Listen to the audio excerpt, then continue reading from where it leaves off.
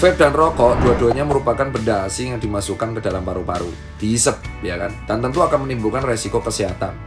Sama seperti halnya asap polusi kendaraan, asap karbon, dan kawan-kawannya. Intinya segala sesuatu selain oksigen yang masuk dalam paru-paru tentu ada konsekuensi kesehatannya. Tetapi kalau dikomparasi antara rokok dan vape yang lebih baik mana, itu belum pernah ada jurnal yang secara cukup bisa menjelaskan. Tapi khususnya kita vape, vape ini belum diteliti secara detail. Ada beberapa penelitian yang mengatakan bahwa vape bisa menjadi substitusi yang bagus untuk sarana menghentikan rokok. Jadi setelah dia berhenti rokok, untuk menghentikan kecanduan nikotinnya, dia memakai vape dengan sistem closing dose, sampai dia juga berhenti nge-vape. Substitusi kayak metadon kalau di obat narkotika.